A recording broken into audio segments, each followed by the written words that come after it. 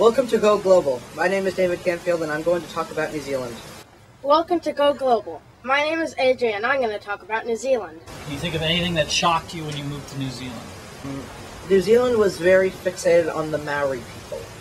If you if you go into the airport and then you see a sign that says like turn left or something, it'll say the exact same thing in Maori.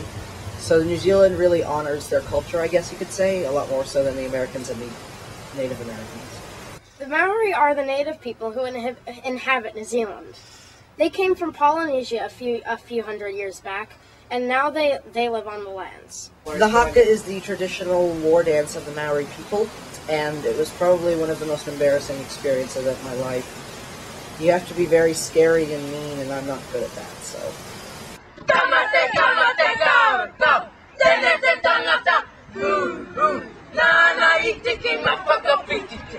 Before every game in the Little League, you have to do the haka, and it was very embarrassing. The kids that were there just laughed at us and laughed at us because none of us really knew how to do it. Ah, ah, ah.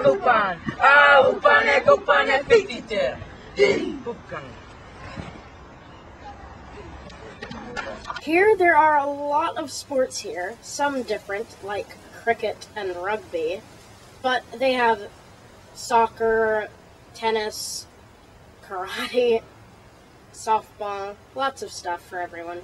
They have a lot of golf here also, which is pretty boring, but anyways. Main sports in America are football, basketball, baseball, things like that. And they're so minor here. There's a school basketball team, but baseball, there's no school team for that. There's no school team for football. Football is basically, you cannot play it here. But um, baseball, you can play it. It's very hard to find, and it's very small. Couple hundred kids around where we live. And um, basketball, I guess it's a little bit bigger than those two sports, but it's still very minor. Sometimes I think that New Zealanders are rather extremists, as they do certain things such as paragliding, par- just parachuting, sailing a lot. It's kind of weird.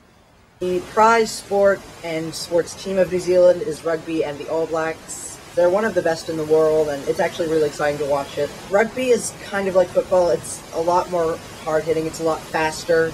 The games are really short. They only last around an hour.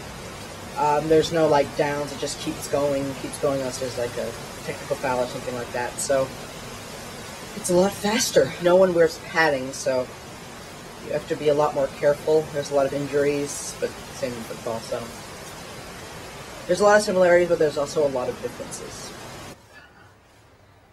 Bikers. In New Zealand, there are bikers in their little tiny shorts going around on the street passing your car. I say to my mom frequently, why don't you just bash them on the road? Because of how angry they make me. I hate those bikers. Um, there are a lot more opportunities in baseball from what I've experienced. I went to the um, Little League World Series Asia Pacific Regional Finals a couple years ago, representing New Zealand, and we won. It was the first game New Zealand has ever won. The first New Zealand Little League victory ever.